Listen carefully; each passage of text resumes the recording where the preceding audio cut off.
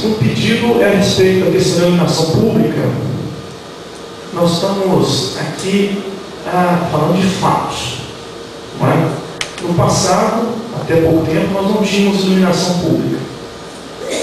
Hoje nós temos, com certeza, mais de 90% do município de Pimenta. Tive informação não, não, não confirmada por escrito, mas tive informação de algo em torno de 97% do município iluminado, aliás, muito bem iluminado.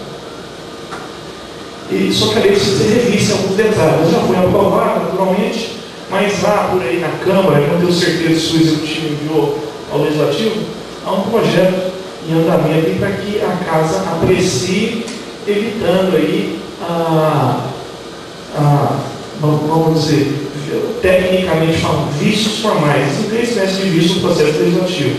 O vício aqui parece ser de ordem formal.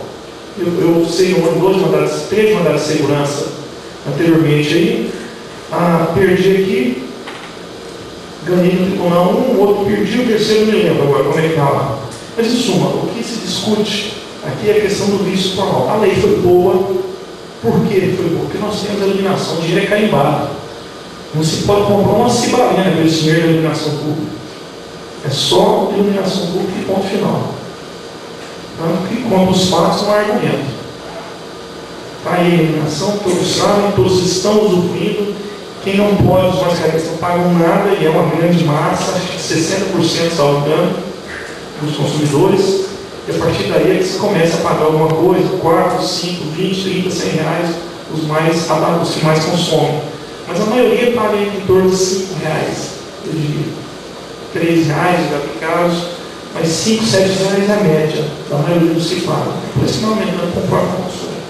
Então a lei me parece que é boa, e digo como cidadão, inclusive, não apenas como ah, curador do interesse público, ah, os furtos, os estupros diminuíram consideravelmente em determinados setores da cidade conversando há poucos dias com a autoridade policial aqui na, no município, nota-se que em locais onde havia furtos constantes, em especial nas, na, na, nos bairros mais carentes, ali na, região de Jardim das Oliveiras, lembro da ponta da Nova Pimenta, houve diminuição dos furtos, houve inibição àqueles que são dados à prática da eclipse.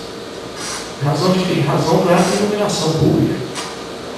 Então, e com certeza, em consequência, inibição de mortes, inibição do narcotráfico, com certeza. Não é? Então, tem pedir a casa também para que aprecie ainda esse ano, também com, os, com os, todos os nove vereadores atuais, esse, esse ah, processo legislativo de adequação, que já existe a lei, de adequação da lei de iluminação pública.